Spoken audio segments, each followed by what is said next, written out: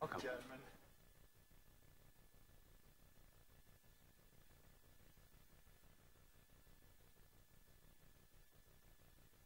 Welcome back, everyone. We will start the next session. And, uh, speaker will be Andrew McRae, talking about automatic code generation.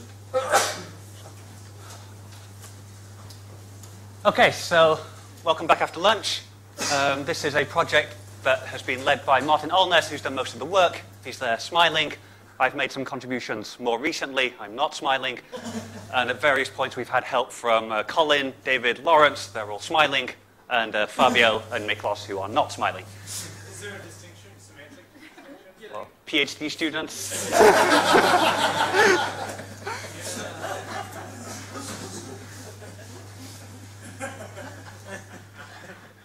Okay, so the aim of this project was to um, generate kernels for non-affine meshes and to use a single implementation in both FEniCS and Firedrake. So a little bit of history here. So in late 2012, um, we got manifolds in FEniCS, and we started talking about non-affine so we could get higher order meshes of the sphere. In uh, late 2013 and early 2014, we got these extruded or semi-structured meshes in Firedrake that uh, we, I spoke about last year. Around the same time, Martin came to Imperial and started to do some work on non-affine. At last year's FEniCS talk, Martin showed a demo, and I think it was just H1 Poisson, but on a higher order mesh. In around November, we got unstructured quads in Firedrake, and Miklos is going to talk about that next. And earlier this year, I went to Simula for a couple of weeks to try and finish off non-affine. So, what have we done since last year? Well, we've got Piola elements working, we've got derivatives of Piola elements working, and this implies that we have nested derivatives working, and we also have mixed elements working, we think. And it came to my attention recently that we're not actually the first people to try doing non-affine in FEniCS. So uh, these guys spoke about it in 2010, and I don't know how many of these we got, they got, but I'm guessing not all of them. So I'm going to give this talk kind of backwards. So uh, on another day, this could be my conclusion slide. So where are we at at the moment? Well, in Firedrake, uh, the code is currently not in master. It's just on branches, and I'll talk a bit more about why this is um, during the talk. All the existing Firedrake tests pass, and this is a big thing because um, we're, gonna, we're using a single code path. So we're passing even the old flat meshes through the same non-affine code path. Um, annoyingly, we can't yet use higher order meshes. This is due to some problems with UFL objects being immutable.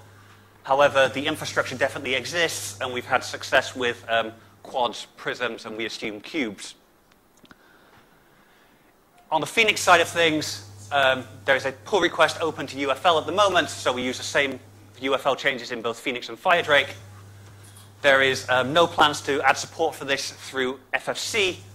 However, it should be supported through UFLACS, which is this new compiler Martin's working on and Marie spoke about this morning.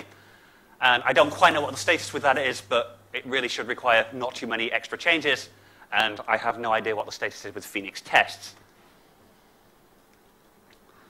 So when do we need non-affine? Well, basically two situations.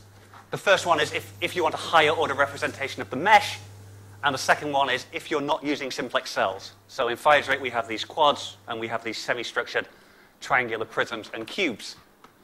And, okay, what can we do in the existing code base? Well, technically, we can assign a higher order coordinate field to the mesh. I think that's true in DOLFIN as well. I'm not entirely sure. However, we can't produce appropriate kernels.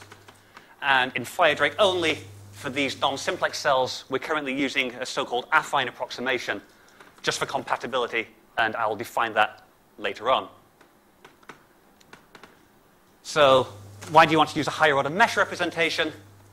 Well, if the domain that you're working on is just an approximation of the domain that you want to be working on, so this is like a flat panel approximation to a sphere, and here is a quadrilateral approximation, then this can limit your rate of convergence. And if you use this affine approximation with non-simplices, then this also hurts convergence. particularly in mixed problems. So I'll just give a little demonstration of this. Um, my toy example, just to keep things simple, will be just a Helmholtz equation. I'll look at the two standard formulations. So one of them is the standard H1 formulation, and the other one is this mixed formulation where you introduce an extra variable sigma. So if you look at the H1 formulation on triangles, then, um, so this is just normalized L2 error norm, uh, mesh refinement level. Every extra refinement is halving your mesh spacing. This is with just linear elements, and the dotted line is representing second order convergence. So, sure, with linear elements, you hit second order convergence on this sort of mesh. However, if you go up to quadratic or cubic elements, then because you still have this flat approximation to the sphere, you're still stuck at second order convergence. What about on quads? Well, this is the old code base using this affine approximation. Still, with first order or second order or third order elements, you're stuck at second order convergence. And if you get rid of this affine approximation, then, okay, your error decreases, but your convergence remains the same. So things are a bit different in the mixed formulation. So on triangles, things work as expected. So at lowest order, you just get first order convergence, and for higher order, you're limited to second order. But on quads, with this affine approximation, so again, lowest order is going at first order, but the vector quantities represented by the triangles are also only going at first order with this affine approximation. However, get rid of this affine approximation using the, the new uh, non-affine functionality, and you recover second order. So the next few minutes are going to be like a very quick introduction through isoparametric. So for those of you who are familiar with this already, please do bear with me. Why do higher order and non-simplex meshes require different treatment, especially for code generation within FEniCS? Well, the geometric quantities, such as the Jacobian of the coordinate transformation, are no longer constant on each cell. And where do we use these quantities? Well, in UFL, we write integrals in physical space. So this is one of the blocks of the mixed Helmholtz system we saw before. And we need to convert this thing into integrals on the reference element. So to give a bit more detail, if we define J to be the Jacobian of this coordinate transformation, then there's basically four things. The integration measure picks up this factor of absolute value of det J. The derivatives with respect to the physical coordinate become derivatives with respect to the reference coordinate by the chain rule. These fancy Piola map elements, um, their values themselves depend on the Jacobian. And if you have explicit geometry terms like the normal vector, then um, these also depend on the coordinates. So you start with this quite tame looking thing here, and it gets expanded out into this mess. And previously, the geometric quantities, so here just the Jacobian entries, they were calculated firstly directly from the vertex coordinates, secondly using manually handwritten code. This is in FFC codesnippets.py and also in some of the header files in DOLFIN and Firedrake. And thirdly, they were calculated outside the quadrature loop. And to support higher order or non-simplex meshes, this needs to change. So this requires a sort of intermediate step in thinking. And what you need to do is don't think about your mesh as having a bunch of vertices, and each of these vertices has a coordinate. Instead, just think of the coordinate field as being another function. So, for example, the function x gives the x coordinate of a point. And you can represent the function x in basically any finite element space, but not P0. If you're on a simplex mesh, then attaching the coordinates to the vertices is like storing the components in P1. A non-simplex mesh has the coordinate field in something like, say, Q1 for some bilinears, while higher order meshes put the coordinates in some higher degree polynomial space.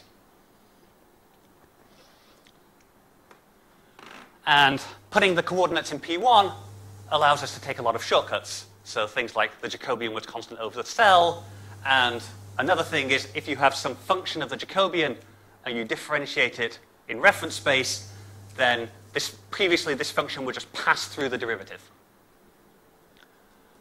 So these approximations are wrong if you're not on a simplex mesh. And previously we used this affine approximation just for compatibility. And for this, we evaluated the Jacobian just at the midpoint of our cell.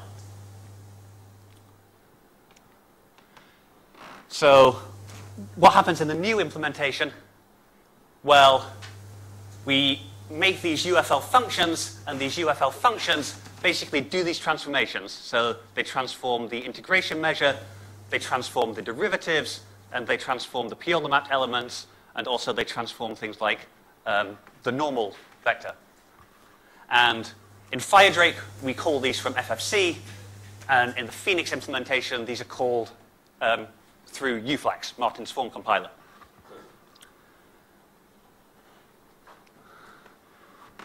And a bit more detail. So in FFC, again, we've got the form compiler, so we can remove the code that applies the integration measure scaling. Why? Because we had the UFL functions that did it already. We can remove the code that applies the chain rule. Why? Because UFL did it already. We, re we remove the code that applies Piola mappings. And finally, we remove a thousand odd lines of manually written C code. Great. Just a little note here on mixed elements. So if some of the elements use Piola transforms, then we sort of build a matrix where the matrix maps from the reference mixed element to the physical mixed element. And if you're on a manifold, then this might have non-square blocks. So, okay, this implementation is correct, but there's a few problems. One of the problems is what happens if you encounter the derivative of a Piola map quantity? So such as this div u we saw before, where this u is like an RT element. So this gets converted into something involving inverse Jacobian, d by dxj of some expression involving the Jacobian. And in order to get this form into sort of the form that FFC expects, we need to blow up all these derivatives again. So we need to pass this form back through the UFL differentiation functions and using the product and quotient rules, and this gets messy.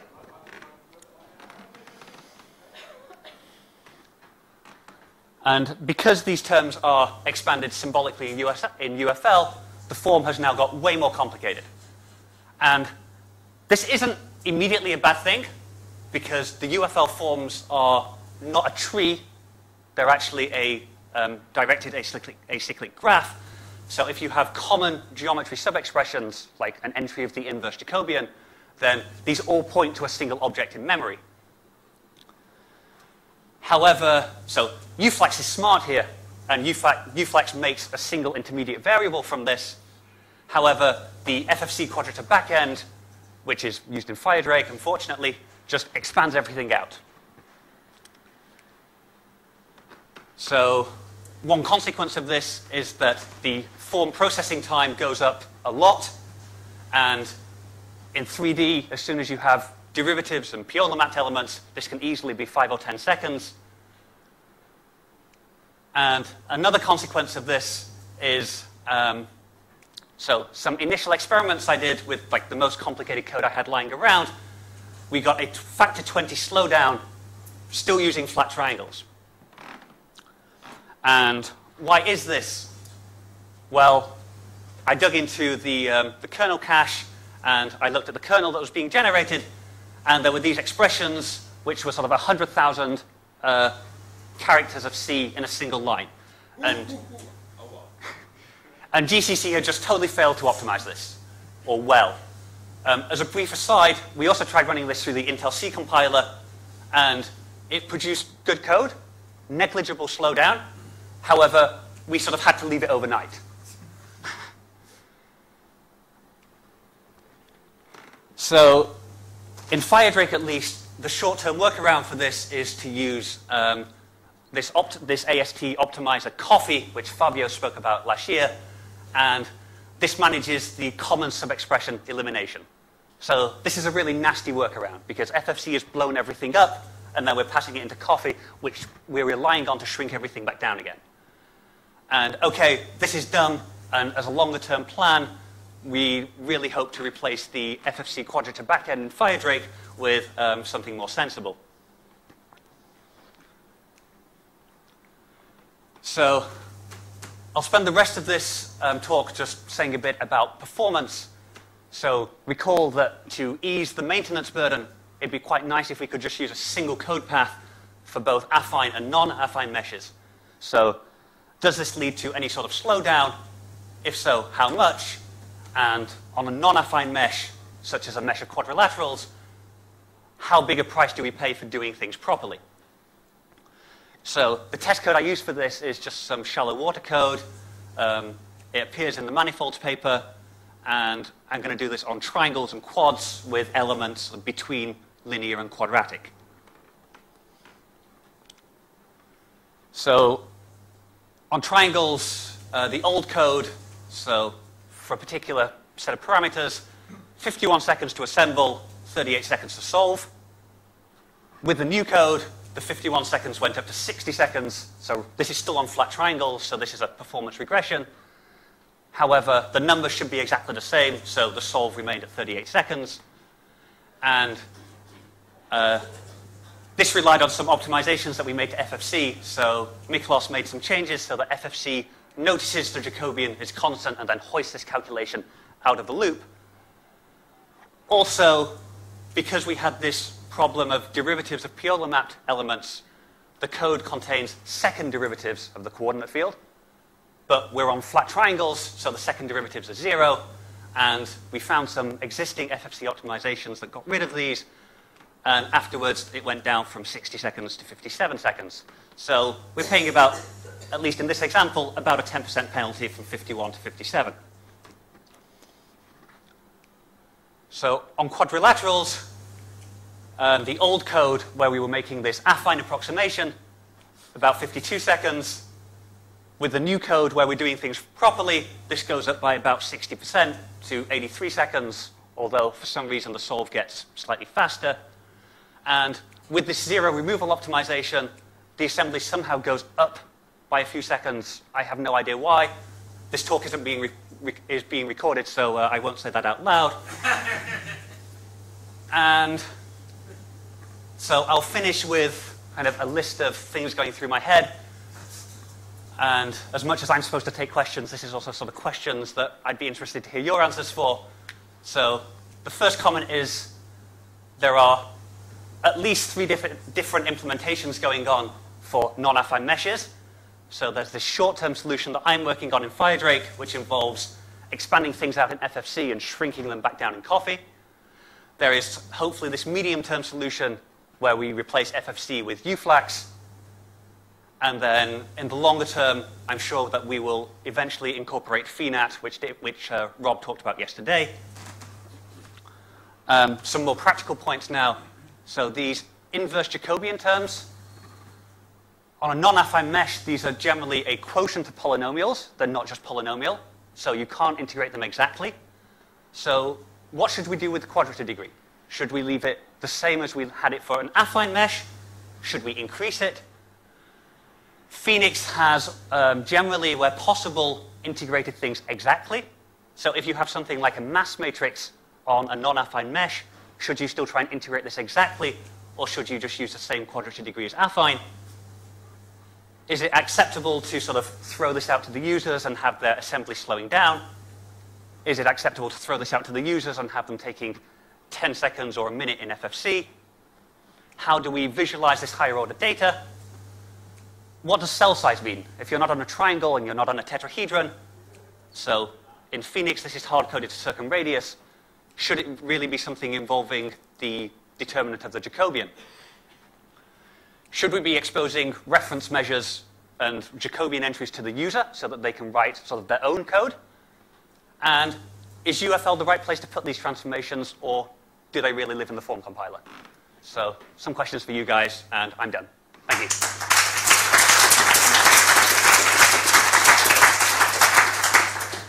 Are there any questions? Um, thanks for your enlightening uh, talk on all the complexities. I would now try to make my connection to the talk.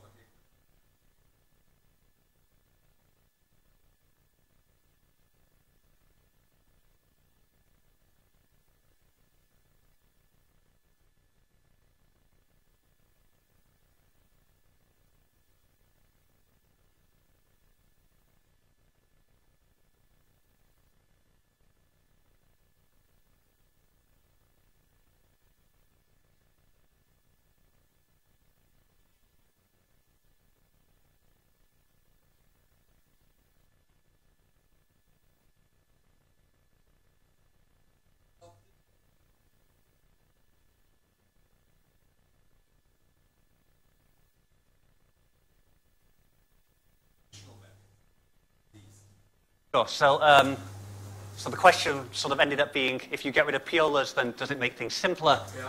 And um, so two com- so, so two comments. So first of all, okay, there might be some extra simplifications that you can make if you know that your say your coordinate field is the same degree as your function space is.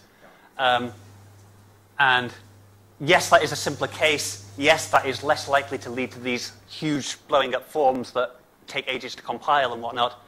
Um, however, from the point of view of a developer, I sort of have to tackle the general case. So this is why um, this is why I've been working on piolas and mixed elements. And also, we want to use these as a user. Other questions? Second to last point, expose reference measures. do FEniCS shells, so to have geometric information available in the, in the form. Great. Yep, I, I, I fully plan to do that. So um, yeah. So a few slides ago, I mentioned that uh, sort of we can't make we can't take advantages of these sort of identities, and like that's the kind of thing that you could write out by hand, for example. VNOT allows one to insert those transformations because if you take the divergence of an element that is pulled back,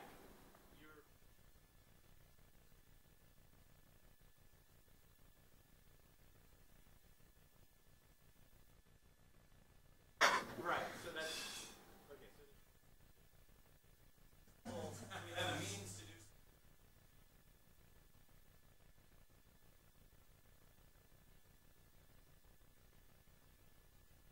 So a little bit of background for those of you who kind of haven't got too involved in development. So one of the issues with UFL is that if you have a derivative like curl or div, then it sort of expands it out into components. And by then, you've, sort of, you've lost the information that you needed to make other simplifications. You